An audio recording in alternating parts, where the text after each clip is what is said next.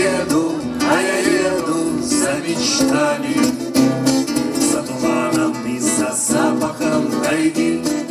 В этом году Грушинскому фестивалю исполнилось 50 лет. Легендарный слет любителей бардовской песни плотно врос корнями в историю культурной жизни великой страны. Уже полвека он проходит на радушной и гостеприимной Самарской земле. В одном из самых красивых уголков региона, где могучая Волга и живописные горы создают неповторимый природный ансамбль. Круглую дату отпраздновали с размахом благодаря усилиям клуба авторской песни имени Валерия Грушина и всесторонней помощи регионального правительства на поляне обновили инфраструктуру, чтобы гости чувствовали себя на Мострюковских озерах как дома. Начали, как полагается, с платформы. Теперь это не просто перевалочный пункт, а новая визитная карточка фестиваля. Добраться до Грушинского фестиваля можно разными способами, но, пожалуй, самый проверенный – это железнодорожным транспортом. В этом году платформа имени Валерия Грушина претерпела значительные изменения. Здесь организовали концертную площадку, стоянку и зону фудкортов. Находиться здесь – одно удовольствие. А в окнах зимний лес, стыки рельс, звоны рек, мост, стук колес. Раньше такого не было. Очень хорошо. Все очень сильно поменялось. Прям в лучшую сторону. Сам железнодорожник, поэтому мне все нравится. Как бы обустройство, сделали все для людей. Одна из главных достопримечательностей поляны – ее природная красота. Перед тем, как спуститься вниз, не забывайте, что справа от лестницы находится отличная обзорная площадка. Здесь можно сделать не один десяток замечательных фотографий и селфи на свой смартфон. Металлические ступеньки и земляная насыпь у подножия горы остались в истории. Теперь туристам не придется падать и спотыкаться в непогоду. Лестница в небо или несколько сотен ступенек, ведущий ход платформы Валерия Грушина к основной поляне фестиваля. Это, пожалуй, главный подарок для всех любителей бардовской песни к юбилею в этом году. Можно бесконечно рассказывать о том, что еще изменилось на Мострюковской поляне, но лучше увидеть это своими глазами, приехав на фестиваль уже в следующем году. Если вы забронировали дату в календаре и собираетесь посетить Самарскую область летом 2024 года, вам непременно стоит поучаствовать в праздничном шествии перед торжественной церемонией открытия. До церемонии открытия остается всего несколько минут, и на поляне Грушинского фестиваля уже начинается праздничное шествие всех собравшихся гостей, поэтов и музыкантов, которые уже через несколько минут придут к главной фестивальной сцене. Ну, конечно, масштабы поражают, отношение людей поражает. Все по-братски, все тепло. Места на Грушинском фестивале хватило всем, даже Деду Морозу со Снегурочкой. Я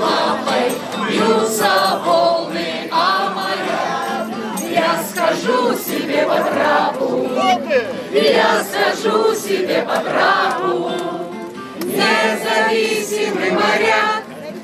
После официальной церемонии открытия мы решили немного перевести дух. Отдохнули в лагере у сцены квартира. Там местные обитатели пустили нас на полевую кухню и рассказали о том, как питаются барды под открытым небом. Что готовите сегодня, что вечером будем У кушать? нас есть чай. Чай. Ага, чудесно. Походный, самый лучший. Ага. У нас есть горячая вода. Так, всегда, ну чтобы тоже- сделать чай. тоже важно, кофе. да.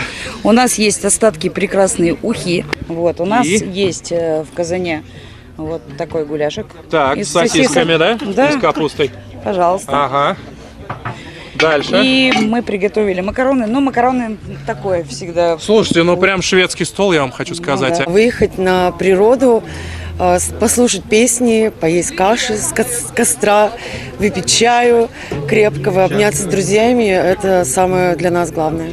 Артисты времени в первый день даром не теряли. Гуляли по центральным улицам палаточного городка, общались с благодарными слушателями, любовались красотами природы и сочиняли новые песни. Ты увидишь чудо. Реально. Вот этот фестиваль единственный, который не спит который всегда в любые времена. Этот Грушинский фестиваль – это абсолютно точно батарейка для, для поколений. Давайте друг друга с полуслова,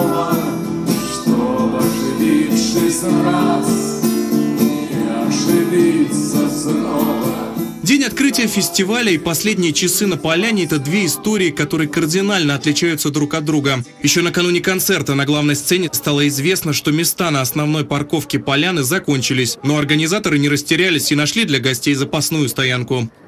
50-й Грушинский фестиваль наверняка побьет исторический рекорд по количеству посетителей в день галоконцерта на поляне Мостряковских озер. Буквально яблоку негде упасть. Туристов не смущает даже пасмурная погода и мелкий дождик. Все с нетерпением ждут галоконцерта на плавучей сцене гитаре. География Грушинского фестиваля просто поражает воображение. На интерактивной карте в центре поляны представлены все регионы России и страны ближнего зарубежья. В этом году туристы преодолели тысячи километров, чтобы собраться в Самарской области и послушать любимые песни у костра вместе. Согласно официальным данным, на юбилей в регион приехали более 56 тысяч человек из 62 регионов России, а также жители Беларуси и Казахстана. Гости перевоплощали сказочных персонажей и героев фантастических фильмов, пели песни, читали стихи и просто хорошо проводили время, позабыв о проблемах и домашних хлопотах. Мы рады, что мы россияне и что у нас такой праздник есть 50 лет Грушинскому фестивалю. Приезжайте, отдыхайте, а, наслаждайтесь. Это классно. Поздравляем. Прими в свои прохладные объятия, волною тихо, поцелуй в уста. Я к вам пришла, родимые места, и птицею порхнула в травы платье. Ближе к вечеру на поляну обрушилась стихия. В день открытия нам посчастливилось поучаствовать в шествии, которое унесло нас волной на главную сцену. А сейчас на поляне у Мостряковских озер начинается настоящий тропический ливень. Но туристов это не смущает. Некоторые бегут в свои палатки, а большая часть любителей бардовской песни идут по своим бытовым делам. Впрочем, некоторые туристы на дождь не обратили никакого внимания. Приехали с друзьями, поставили там палатки. Сейчас вот э, ходил, пообедал. Сильный дождь начинается, да. но на вашем лице ни капли смущения нет, только капли дождя. Расскажите, в чем секрет? Ну, все-таки это атмосфера Грушинского, и как бы благодаря этому, скорее всего, дождь не замечаешь. В отличие от Эльдара Бадаева, нашей съемочной группе пришлось несладко. Погода внесла коррективы в нашу работу, теперь придется использовать проводной микрофон, но ничего страшного, пойдем разговаривать с людьми, узнавать, как они справились со стихией. Что в палатке делали, чем занимались, Ну, пока дождик шел? палатке мы смотрели этого концерт Уриевского, А на какой сцене он проходил? колокольчики. Понравилось? Да, Вася как сегодня зажигал? да, как всегда. Василий на колокольчиках разогревал публику песни про штучку, которую он никогда и никому не показывал.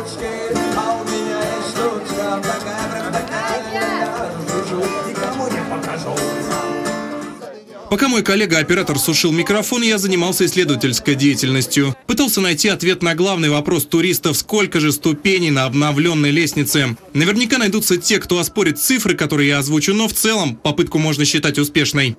Ну что, обещал, выполняю. Пока шел дождь и не было возможности снимать на камеру, поднимался вверх к платформе имени Валерия Грушина и насчитал 533 ступеньки. Спускаться вниз удобно, ботинки не скользят.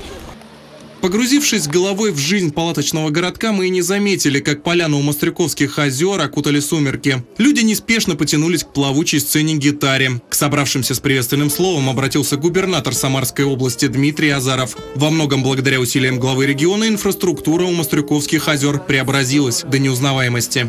Глава региона отдельно поблагодарил за труд бессменного организатора Грушинского фестиваля Бориса Кельмана и вручил ему награду – памятный знак за служение людям. Я хочу сказать, что у Грушинского счастливая судьба. В самые сложные моменты его жизни всегда находятся какие-то добрые, сильные, яркие люди, которые берут на себя очень многое и делают очень многое для того, чтобы наш праздник пел, жил, радовался.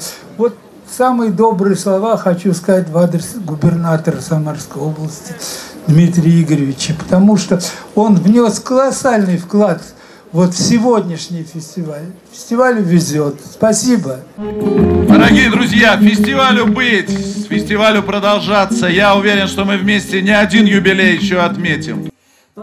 Концерт продлился до поздней ночи. Слушатели смеялись и плакали вместе с лирическими героями песен. Аплодировали авторам-исполнителям, не жалея ладошек, зажигали фонарики мобильных телефонов и покачивали своими гаджетами в такт ритмом любимых песен. Здесь птицы не поют, деревья не растут, И только мы плечом к плечу врастаем в землю тут. Горит и кружится планета, над нашей родиною дым.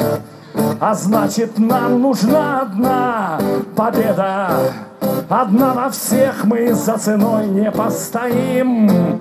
Одна на всех мы за ценой не постоим. Нас ждет огонь смертельный, и все ж бессилен он. Сомнения прочь уходит в ночь, отдельно теперь вы.